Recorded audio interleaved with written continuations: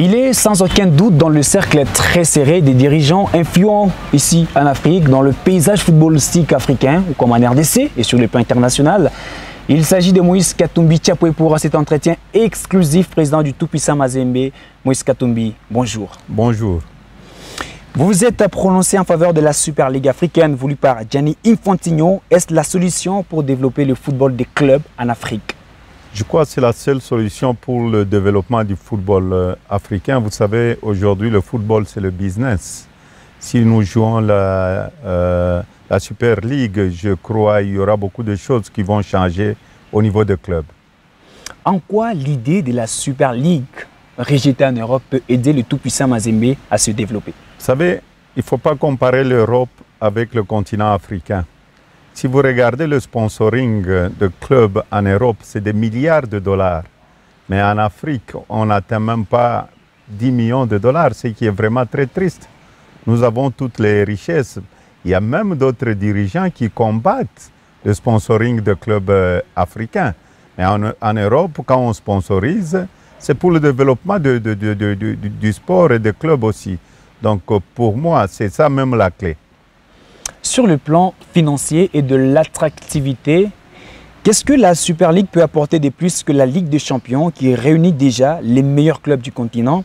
Est-ce que vous avez reçu des garanties à ce sujet? Vous savez, il ne faut pas avoir peur d'aller de l'avant. Bon, on a, quand on joue la, la Champions League, je vous donne un exemple. Euh, la finale, on nous donne un million et demi de dollars après que le club ait dépensé plus ou moins 15 millions de, dollars pour arriver en, finale. Donc c'est une perte pour toutes les équipes euh, euh, africaines. Mais tandis que la cagnotte qu'on aura au niveau de la, Super League, eh, vous allez, vous allez, je ne vais pas annoncer la cagnotte, je laisse euh, que la Confédération africaine annonce la cagnotte. Je crois que les gens vont se retrouver, même toutes les équipes. Et là, en ce moment-là, nous pouvons même prétendre aller un jour gagner à, la Coupe du Monde parce qu'on aura le, niveau de football qui sera euh, relevé. Et la cagnotte, est-ce que ce serait au-delà de 15 millions? C'est vrai, on laisse la suprématie à la CAF? Vous laissez ça à la CAF, je crois que ce sera pour la première fois en Afrique. Et je m'étais battu pour que nous puissions avoir deux clubs au niveau du, pays. J'attends que la CAF puisse euh, annoncer cela. Donc, euh, mon problème, c'est quoi? Les autres équipes qui vont rester, qui ne vont pas jouer la Super League, ils vont se battre pour entrer en Super League. Et au même moment, nos joueurs ne vont pas jouer pour partir en Europe parce qu'ils seront bien rémunérés, parce qu'il y aura quand même la cagnotte sera consistante. Le tout-puissant Mazembe est au cœur d'un contentieux avec deux de ses anciens joueurs, à savoir Ben Malango Nguita et Michak Elia.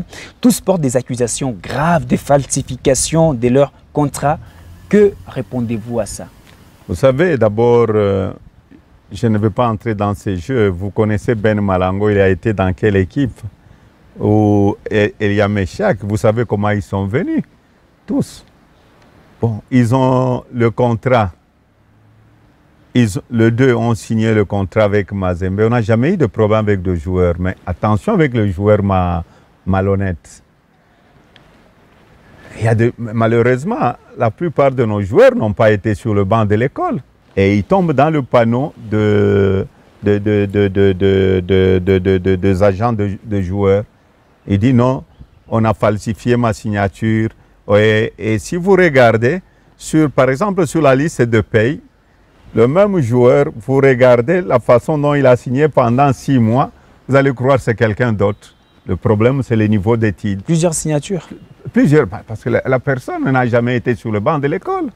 Il y a des gens qui n'ont pas été sur le banc de l'école, malheureusement. On n'a jamais bloqué un joueur, mais Mouleka est parti. Et le, jeune Glody Luikonza est parti, Chibangu est parti, Samantha est parti, Asale est parti. Est-ce que vous aviez entendu de problèmes Prenons le cas de Dieu merci Mbokane. Dieu merci Mbokane vient d'où? De Mazembe, Merveille Bopé. Tous sont partis dans de bonnes conditions. Vous vous rendez compte? Un joueur qui joue avec deux passeports sans le savoir. Nous, nous avons la, date de naissance réelle. Et il y a des joueurs qui ont diminué leur date de naissance. Je ne veux pas citer leur nom. Avoir un deuxième passeport, ils se sont arrangés avec les agents. Est-ce que c'est des joueurs comme ça que nous voulons chez Mazembe? Non. Demandez à Mbokane, depuis qu'il est en Europe, si le président de Mazembe a déjà demandé à Mbokane un, dollar américain ou à, à Saleh, il y a Samantha qui est là. On a plusieurs joueurs. On ne peut jamais bloquer un joueur. Le cas d'Elia Meshak. Elia venu chez moi ici. Vous aviez suivi à la radio et à la télévision venir me dire au revoir. Je même honte aujourd'hui parce qu'il est parti avec un visa d'Anderlecht. Avec un visa d'Anderlecht. Arrivé chez Anderlecht le jour de la signature, la nuit, il disparaît. Il y a pas il y a, euh, à 10 heures, on l'attendait pour la signature. Elia Meshak avait disparu. Et il est, allé il, est, parti en Suisse, là où il a dit que, bon, il, demande euh, l'asile politique parce qu'il y a des problèmes au pays. Donc il y a beaucoup de choses. C'est malhonnête ça. Mais Malango a eu des problèmes avec nous. Pourquoi nous sommes allés à la FIFA? On n'a pas besoin de l'argent de Malango, de Elia Meshak, mais c'est la façon. Parce que sinon, c'est la même chose. Heureusement, la FIFA va changer maintenant la, chose, les, licences de joueurs. Et j'avais fait une proposition d'avoir des, licences bio, biométriques. Ces joueurs-là sont partis des petits clubs, de grands clubs formés à l'école de foot, tout ça pour qu'un joueur, même Mouleka, pour qu'il puisse aller en Europe, il a commencé par le CoFoot Katumbi. Donc il y a eu une formation, il y a eu de l'argent qui avait été investi.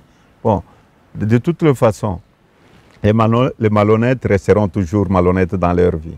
Les gens honnêtes resteront honnêtes. Mais si les malhonnêtes ne veulent pas changer, ils finiront toujours très mal. Le tout-puissant Mazembe libère de plus en plus ses joueurs, ce qui n'était pas le cas auparavant.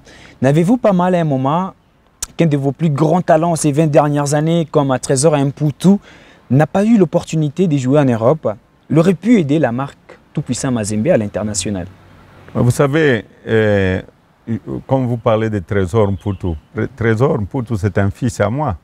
Il est resté avec moi, il est arrivé à l'âge de, de 16 ans avec Patou Kabangu. Même Pamphile Miayo, c'était des très jeunes joueurs. Il y a des joueurs qui ont été sollicités. Trésor Mputu est allé même euh, chez Arsenal. Arsenal, vous pouvez demander au coach Arsène Wenger. Trésor s'est entraîné avec Fabregas, Trésor s'est entraîné avec Adebayor, mais il ne voulait pas rester en, Europe. Et à un moment, j'étais condamné, soi-disant que je voulais bloquer le joueur. Le président Constant Omari lui-même m'a dit non, vous êtes en train de bloquer le joueur. Il dit cherchez un club pour Trésor. Il est allé avec lui à Nice. J'ai donné mon avion pour amener Mputu dans un avion privé pour qu'il joue à Nice. Arrivé à Nice, trois jours après, Poutou avait quitté Nice sans même dire au revoir aux dirigeants. Il s'est retrouvé encore au Congo. Poutou devait aller jouer après au Qatar. Il a fait une semaine, il est, il est rentré lui-même. Et il y a des joueurs comme ça qui aiment le pays. Et ce sont des joueurs très rares. Pour moi, c'est une qualité. Poutou voulait servir le, le, le, le pays. Poutou continue à, à, servir le pays. Il y a eu un joueur aussi au, euh, euh, euh, avec Alali d'Égypte. Euh, je ne me rappelle plus le nom, à l'époque d'un Poutou. C'était le Mohamed Aboutreika, les deux meilleurs le deux meilleurs. Est-ce que Aboutreika avait quitté son, son pays Non. Il y a des gens qui aiment leur continent. Il faut faire la part de joueurs. Entre le joueur qui aime l'argent et le joueur qui aime le pays et qui aime leur club. Il faut faire la part de choses. Deux clubs de la RDC pour la Super League. Est-ce qu'il est sûr que la Super League va réunir les meilleurs clubs du continent? Est-ce que vous pensez qu'au jour d'aujourd'hui, le tout-puissant Mazembe fait toujours partie des 20 meilleurs clubs africains? Vous savez, il ne faut pas voir notre performance pour le moment. Mhm. Et ça, c'est dommage parce que quand j'étais en exil, j'ai demandé toujours aux gens qui dirigeaient l'équipe ici sur place de faire monter les jeunes de, de, de, notre académie. Nous avons de très bons jeunes. Mhm. Aujourd'hui, c'est vrai, et on ne marque pas souvent, mais regardez un peu le, nombre de buts et le jeu de Mazembe. Donc nous sommes en train de transformer notre équipe. La jeunesse est en train de, de monter.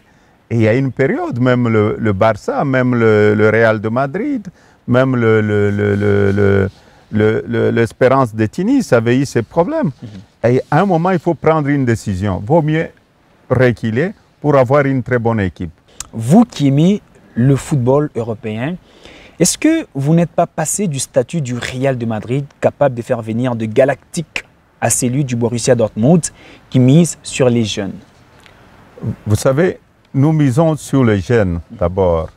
Le problème que nous avons, faire venir des joueurs à gauche, à droite, souvent ce sont des, mercenaires.